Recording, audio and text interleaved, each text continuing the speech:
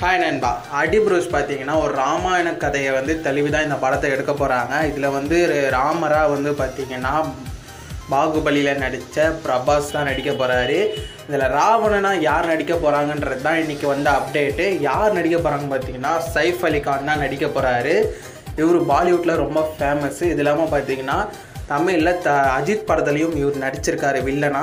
இப்போ பார்த்தீங்கன்னா ராவணன் கேரக்டரை இவர் தான் நடிக்க போகிறதா சொல்லியிருக்காங்க. அதுக்கப்புறம் பார்த்தீங்கன்னா மாஸ்டர் படம் வந்து ஓடிடியில் வந்து ஏகப்பட்ட ப்ரைஸில் கொடுத்து கேட்டுட்ருக்காங்களாம். ஆனால் வந்து மாஸ்டர் படம் என்ன சொல்லிட்டாங்கன்னா தேட்டர் தான். அதாவது நாங்கள் பொங்கல் வரைக்கும் நாங்கள் பார்க்குறோம் அதுக்கப்புறம் எதாக இருந்தாலும் நாங்கள் சொல்கிறோம் அப்படின்னு சொல்லியிருக்காங்க. மா மாஸ்டர் படத்துக்கு வந்து இன்னும் அதிகமாக கேட்டுகிட்டே போய்கிட்டு இருக்காங்களாம் அதுவும் பல ஓடிடி தளங்கள்லேருந்து போட்டி போட்டுக்கிட்டு கேட்குறாங்களா அந்த படத்தை எங்களுக்கு கொடுங்கன்னு.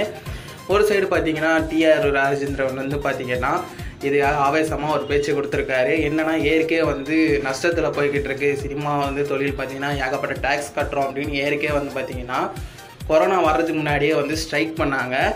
அதுக்கப்புறம் பார்த்தீங்கன்னா கொரோனா வந்து இந்த இந்த கொரோனா பீரியடில் பார்த்தீங்கன்னா ஓடிடி தளங்கள்லாம் நிறைய ஃபேமஸ் ஆயிருச்சு. இப்போ வந்து பெரிய படங்கள்லாம் அதில் ரிலீஸ் ஆச்சுன்னா தேட்டர் வச்சுருக்கவங்களுக்கு படம் தயாரிப்பாளர்களுக்கு விநியோகஸ்தர்கள் பார்த்தீங்கன்னா எல்லாருக்குமே இது இதனால் பிரச்சனை வரும் அப்படின்றதுனால டிஆர் ரேஞ்சர் பேசியிருக்காரு. ஏற்கனவே பார்த்தீங்கன்னா சூர்யா வந்து அவரோட சூரரை பற்று படத்தை வந்து ஓடிடியில் தான் வந்து ரிலீஸ் பண்ண போகிறதா சொல்லி அஃபிஷியலாக இது பண்ணியிருக்காங்க. அதில் வந்த லாபத்தையும் பார்த்தீங்கன்னா நிறைய பேர் பிரித்து கொடுத்துருக்காரு.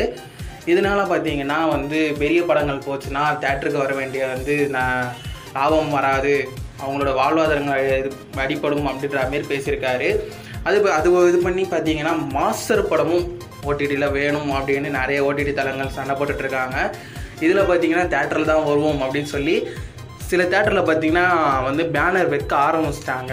அண்ணாத்த படத்துக்காக பார்த்தீங்கன்னா ரஜினி கிட்ட கேட்கும் போது அவர் என்ன சொல்லியிருக்காருன்னா இல்லை கொரோனா கேசஸ்லாம் கம்மியானதுக்கப்புறம் மெடிசன்லாம் கண்டுபிடிச்சதுக்கு அப்புறம் தான் நான் வந்து ஷூட்டிங்க்கு வருவேன் அப்படின்னு சொல்லியிருக்காரு. அதனாலே பார்த்தீங்கன்னா அவர் இல்லாமல் அண்ணாத்தா பட ஷூட்டிங் நடக்கிறதுக்கு வாய்ப்பு அதிகமாக இருக்குது அதுக்கப்புறம் பார்த்தீங்கன்னா லோகேஷ் கனகராஜ் வந்து ரஜினியை வச்சு எடுக்கிறதா இருந்தார். அந்த படத்துக்கு பார்த்தீங்கன்னா கமல் வந்து ப்ரொடியூஸ் பண்ணுறதா இருந்தாங்க.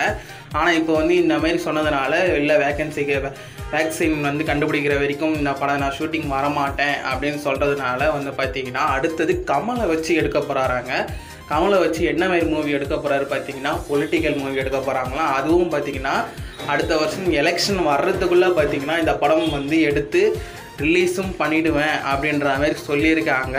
லோகேஷ் கனகராஜ் பார்த்தீங்கன்னா அவர் வந்து சொன்ன டைமில் ஒரு படத்தை முடிச்சு கொடுக்குறவர் கம்மி பட்ஜெட்லேயே முடிச்சு கொடுக்குற ஒரு ஆளுங்க எல்லாருக்குமே தெரியும். அது இல்லாமல் பார்த்தீங்கன்னா இவர் எடுத்த எல்லா படமே வந்து பார்த்தீங்கன்னா மக்களிடையே நல்ல ஒரு வரவேற்பு பெற்றிருந்தது. அதனால தான் பார்த்தீங்கன்னா மாஸ்டருக்கு வந்து ஒரு எக்ஸ்பெக்டேஷன் அதிகமாக இருக்குது அது இல்லாமல் இப்போ பார்த்தீங்கன்னா கமலஹாசன் வச்சு ஒரு பொலிட்டிக்கல் மூவினும் போது இன்னும் எக்ஸ்பெக்டேஷன் அதிகமாகிட்டே இருக்குது லோகேஷ் கனகராஜ் கிட்ட. இந்த படம் எப்படி வரப்போகுது நம்ம வெயிட் பண்ணி தான் பார்க்கணும். அதுக்கப்புறம் பார்த்தீங்கன்னா சந்தானம் நடிப்புள்ள செல்வராகவன் இயக்கத்தில் மன்னன் வந்தான் நடி படம் பார்த்தீங்கன்னா எடுத்துகிட்டு இருக்காங்க. அது வந்து எயிட்டி பர்சன்ட் முடிஞ்சிருச்சு. இன்னும் டுவெண்ட்டி பர்சன்ட் தான் பாக்கி இருக்குது அதாவது ஒரு ஒன் மந்த்துக்குள்ளே தான் ஷூட்டிங் இருக்கும் அப்படின்ற ஒரு சொல்லியிருக்காங்க. இப்போ வந்து பார்த்தீங்கன்னா இந்த படம் வேற ஒரு ப்ரொடியூசர்கிட்ட கை மாறி இருக்கான் அவர் என்ன சொல்லியிருக்காருன்னா இந்த படத்தை முடிச்சு கொடுங்க அப்படின்னு கேட்டதுனால சரி ஓகே. ரெண்டு பேருமே பார்த்தீங்கன்னா மற்ற வேலையை விட்டுட்டு இந்த படத்தை எடுத்து முடிச்சு கொடுக்குற ஐடியாவில் இருக்காங்களாம்.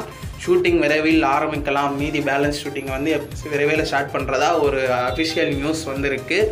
இந்த வீடியோ உங்களுக்கு பிடிச்சிருந்தா லைக் பண்ணுங்கள் ஷேர் பண்ணுங்கள் கமெண்ட் பண்ணுங்கள் கூடவே நம்ம சேனலில் சப்ஸ்கிரைப் பண்ணுங்கள் தேங்க்யூ நண்பா.